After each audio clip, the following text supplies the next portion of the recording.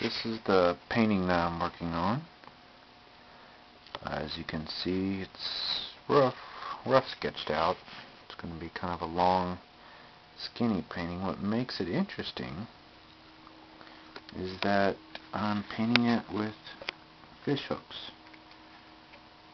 And I'm painting it with, uh, this is my main tool here.